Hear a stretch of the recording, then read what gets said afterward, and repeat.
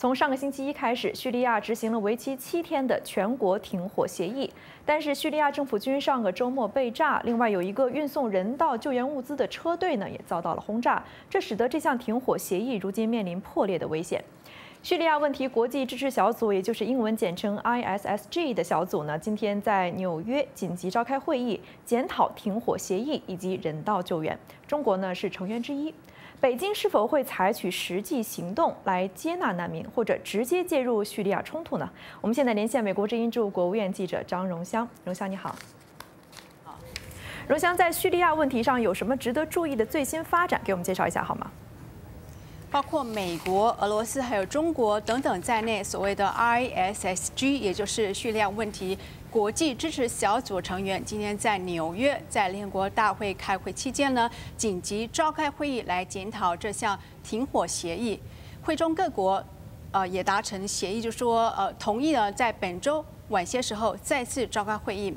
包括美国国务卿克里在内的许呃许多外交官都没有放弃外交努力。那么我们知道不久之前呢。美国还有俄罗斯在日内瓦紧急斡旋，就叙利亚的停火达成了七天的全国停火协议。那么根据这项呃在上个星期一开始执行的停火协议。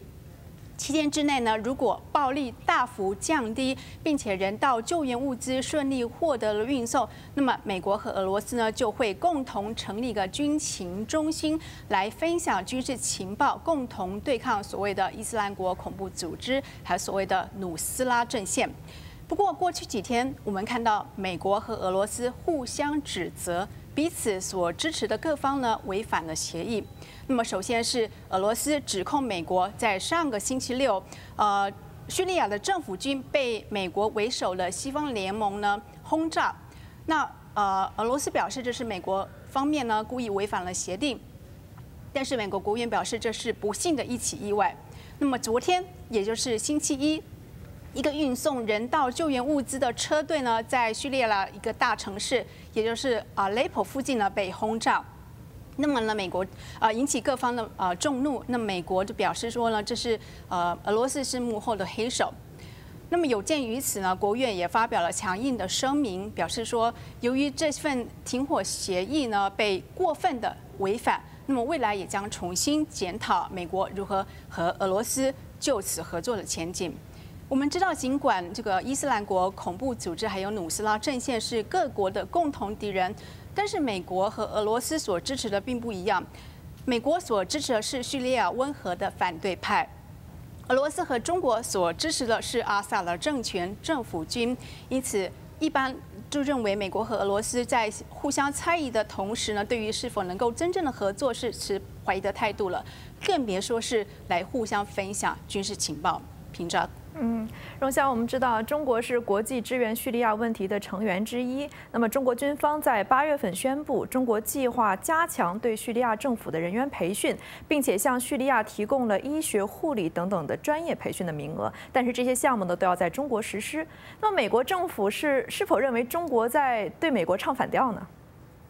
美国总统奥巴马呢，今天在联合国大会开会啊演讲的时候呢，就叙利亚问题向国际各。呃，向国际社会呢发表了敦促，还说要解决叙利亚问题呢有几个重点，那么就包括了呃外交手段、政治解决，还有不断的人道救援的运输。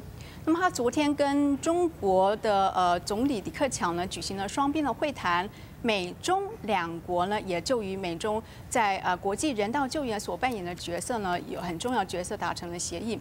那么呃。我们知道呢，简单来说就是美中是求同存异。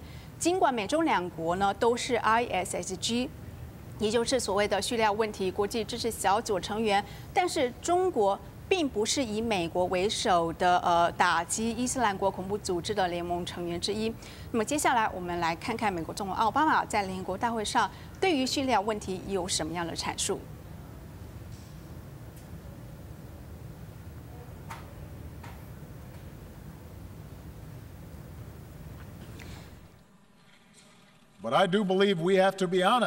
我认为我们必须诚实面对这些冲突的性质。国际社会必须继续与那些不是要搞破坏，而是在寻求建设的人合作。这一工作有军事的组成部分，这意味着团结不懈地摧毁伊斯兰国这样对人的生命毫无尊重的组织。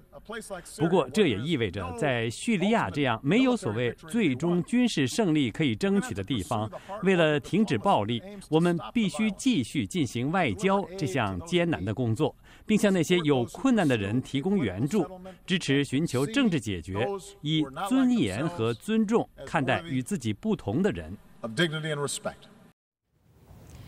中国总理李克强在纽约表示，中国政府愿意拨款一亿美元来协助国际的人道救援，并且来协助国际解决难民的问题，这也是美国所欢迎的。文章。好的，谢谢荣香在美国国务院为我们所带来的连线报道。